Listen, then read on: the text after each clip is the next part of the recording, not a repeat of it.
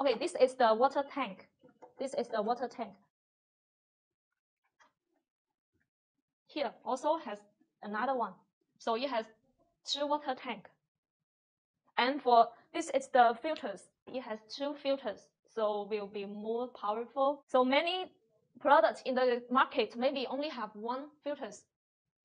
Only have one filters. But we have two filters. You can change it uh, six months. Okay, and this is the, we can see the inside spare parts. This is the TEC cooling system. So it can guarantee the machine can work 24 hours continuously. Okay, we can see at the back. This is the back of the machine. All of our the machine will have the CE and RoHS certifications.